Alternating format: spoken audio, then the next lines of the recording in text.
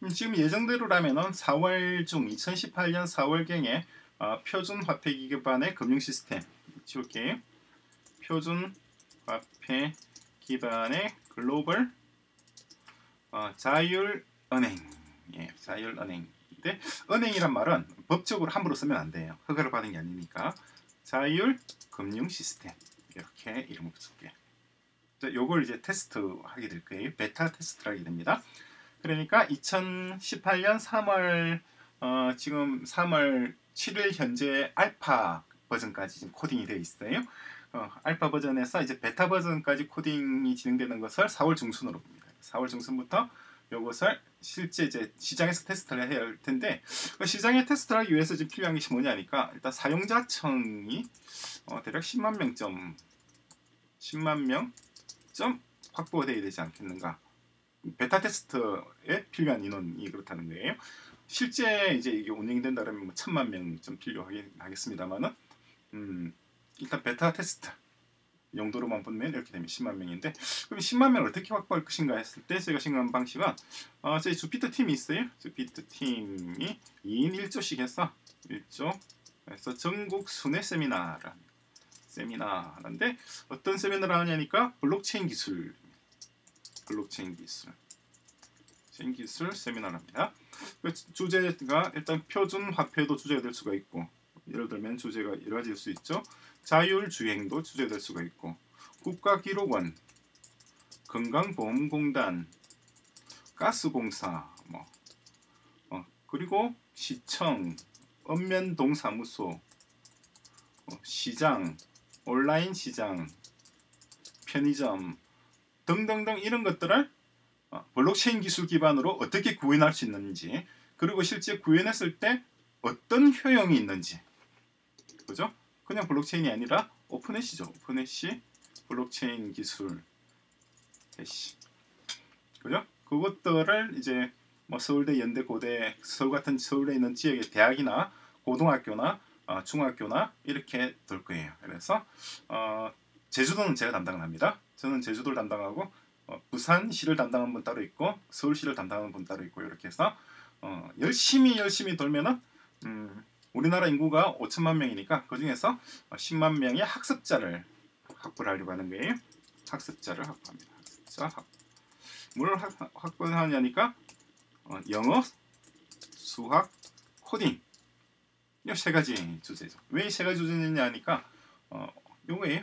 보시면은 저희가 지금 학습 레벨 딱 새로 좀 정리 좀 했는데 보시죠. 여기 보면은 어, 왼쪽에 오렌지 색깔로 있는 것들은 영어 수학 과목입니다. 영어 수학 논리학 과목이고 이렇게 파란색 요 녀석들은 코딩 과목들이고 그리고 빨간색은 인공지능 과목들입니다. 그리고 어, MIT OpenCourseWare가 여기 레벨 라인에 들어가 있고 전체 이렇게 쭉 연결되어 있는데 보시면 레벨 12번까지 이렇게 있습니다. 그래서 여기는 박사과정 수준의 수업이고 그리고 여기는 초등학교 1학년 수준의 수업입니다. 초등학교 1학년부터 박사과정까지 쭉 이어지게 되고 이렇게 단계별로 진행이 되는 거예요. 이 테두리가 있잖아요. 이 테두리가 있는 것은 강의가 저희가 이미 완성이 되었기 때문에 이 유튜브 리스크가 들어가면은 유튜브에서 이렇게 강의를 볼 수가 있단 말입니다.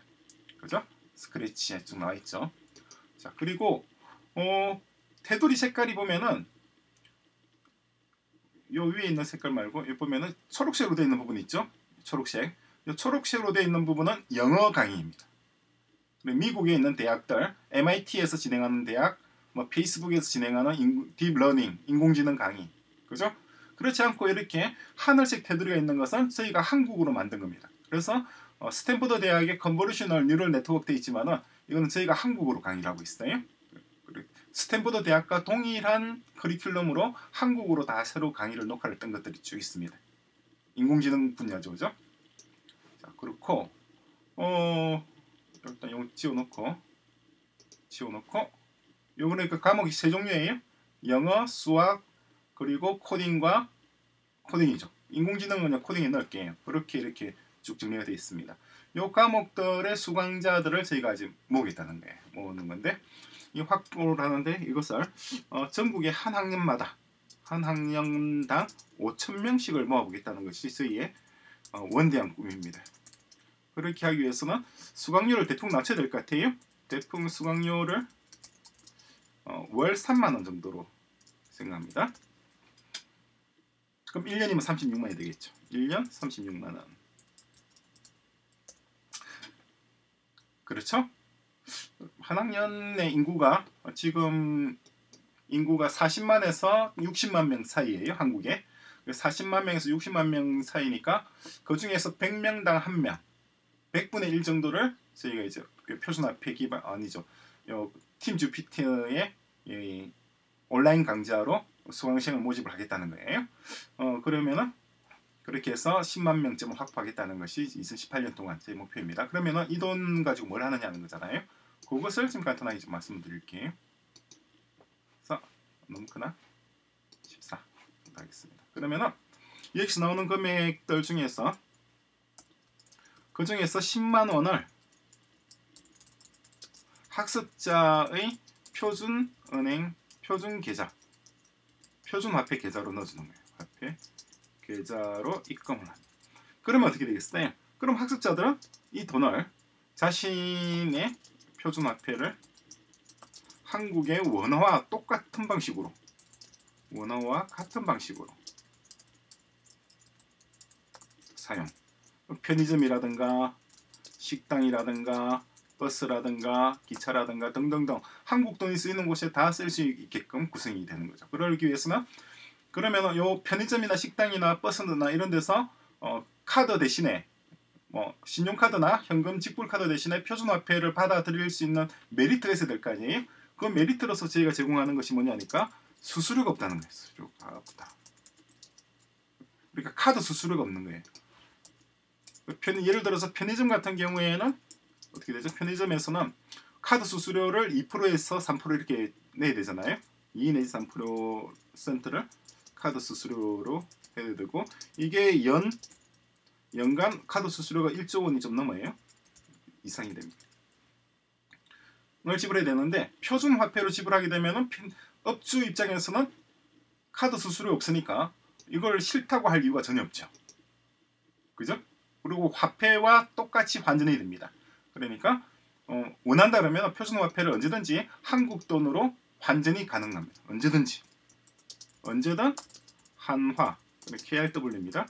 로 환전 환전 가능. 그것도 1대1이에요. 그러니까 10만 원을 입금해주자마자 학습자가 아예 나 한국 돈 쓸래 그러면 한국 돈 10만 원으로 바, 로 바꿀 수가 있어요. 그것도 원터치로 온라인 상에서 원터치. 그죠? 원터치로 바로 환전되니까 뭐 그럼 실제 그러면 수강생들이 내는 금액은 어떻게 되나요? 실제로 내는 거는 26만 원이 되겠죠. 26만 원 이때 그거 왜냐니까 다시 10만 원은 다시 돌려받으니까 만원 표준화폐 그렇게 되겠죠. 그러면은 학습자는 바로 한국 돈으로 바꿔버리는 게 낫겠죠. 어, 표준화폐를 안 받을 때도 있, 있을지도 있고 어쨌거나 한국 돈이 좀더좀 신뢰성이 더 갈 수가 있으니까 그런데 메리트가 있죠. 뭐가 있느냐니까 예대 마진이 없어요. 예대 마진이 없긴 없다. 예대 마진이 없다는 말은 무슨 말이냐니까 어, 이자율이 훨씬 높다는 거예요. 높다는 거죠. 예금 이자율이 높다는 거죠. 그런데 이런 말은 좀 하기가 힘들어요. 왜 힘드냐니까 아직 이게 은행이 아니란 말이에요. 은행이 되려면은 여기 은행이 되려면은 법적인 절차를 밟아야 돼요. 어, 지금 우리가 지금 어, 지금 온라인 교육 과정, 원격 교육 과정도 지금 법적인 절차를 못 밟아서 어, 고용보험 환급도 지금 못 해주고 있는 상황에서 특히 은행을 법적으로 만들겠어요. 말이 안 되잖아요. 그래서 금융 시스템이 되는 거죠. 되는 거죠. 예대 마진이 없어서 예금 이자율이 높다라고 해야 되는데 우리가 은행 허가가 없단 말이에요. 은행 허가 없으니까 이자를 주고 싶어도 이자를 줄 수가 없죠. 그죠? 그래서 생각하는 것이 기존에 있는 카카오 뱅크나 어, 뭐 등의 인터넷 뱅크와 업무로 협약을 진행하려고 하는 거예요. 협약. 업무 협약이 만약 성공이 된다. 어, 성공한다 그러면은 이제 카카오 예를 들어서 카카오뱅크와 이 우리 표준 화폐 기반의 이, 이 금융 시스템과 협약이 된다 그러면 카카오뱅크 계좌와 저희 계좌가 서로 호환성이 되는 거죠. 왔다 갔다 돈이 저희 은행에 있는 돈을 카카오뱅크에도 보낼 수 있고 카카오뱅크에서도 또 저희 은행으로 보낼 수도 있고 얼마든지 원터치로 그러면 사용자는 카카오뱅크 계좌와 저희가 만든 이 앱 계좌, 금융 시스템 계좌를 둘 다 깔아야 되겠죠. 그렇죠? 그렇게 한다면 법적인 문제가 없이 저희가 어, 카카오뱅크보다도 높은 이자율을 제공할 수 있는 게 되죠. 학, 학습자 입장에서는 이 10만 원을 카카오뱅크 계좌로 넘기는 것보다는 표준화폐 기반의 글로벌 금융 시스템에다 그대로 두는 것이 이익이 되는 거죠. 왜냐하면 냅두면 훨씬 더 높은 이자율을 받게 되니까. 그리고 예제 마진이 없으니까 또 어떻게 되나요? 대출을 만약 받게 된다 그러면은 대출 이자율이 훨씬 싸게 되죠. 그죠? 그럼 얘, 왜 예대 마진이 없느냐니까 요거는 무인은행이란 말이에요. 무인은행. 사람이 없고 금융 자산이 없어요. 건물도 없고 아무것도 없잖아요. 그러니까 비용이 그만큼 낮아지는 거죠. 그죠? 어. 이런 식으로 이제 시, 베타 테스트를 이렇게 하려고 해요. 그런데 그런데 이대로 될 거라는 보장은 지금 없습니다. 미리 말씀드려요. 어, 이렇게 하겠다는 100% 그건 없어요. 왜냐니까 법적인 문제들이 있단 말이에요. 은행이나 금융 관련해서는. 그래서 법적인 검토라든가 이걸 다 끝나고 난 뒤에 이것이 현실화 요 테스트가 될 텐데 그러면은 4월 달부터 테스트를 안 할 거냐? 아니죠. 테스트는 해요. 어떻게 하냐니까 법적으로 문제가 될 만한 소지가 있는 것들은 다 빼버리고 가장 기본적인 기능만 테스트를 하게 될 겁니다. 그래서 어, 일단 요거는 어떻게 될지 모르니까 빼버리고 요거는 일단 살려두고 그죠? 수수료 없이 바로 결제할 수 있는 거죠. 이거는 뭐뭐 뭐 지금 이 비슷한 서비스를 하고 있는 게 있잖아요. 한국에서 이름이 뭐였죠? 토스. 어, 토스 같은 게 있으니까 어, 그와 같은 서비스는 은행 허가 없이도 할 수가 있으니까 우리가 할 수 있는 건 할 거예요. 그러면은 어쨌거나 26만 원이 남잖아요. 요 26만 원은 저희가 어떻게 하냐니까 26만 원이 남는데 요것을 튜트 혹은 멘토라고 하죠. 이게 지급을 할 거예요.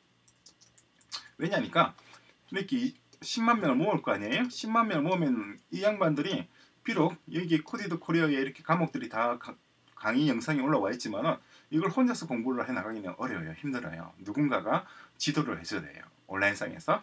그렇게 온라인상으로 지도하시는 분들에게 어, 전액이 다 갈진 않을 거예요. 아마 일부 지급할 겁니다. 중 일부.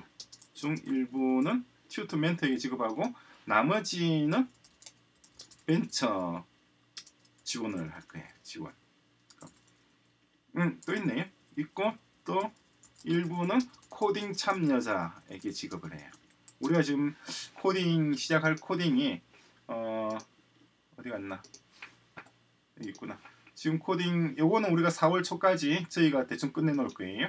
근데 나머지 10개 분야들 코딩해야 될 게 굉장히 많아요. 거기에 참여하시는 분들에게 제공하고 또 일부는 일부는 벤처 공부를 어느 정도 하고 난 뒤에 벤처 창업하시는 분들 지원을 드릴 거예요. 이렇게 그림을 잡고 있습니다.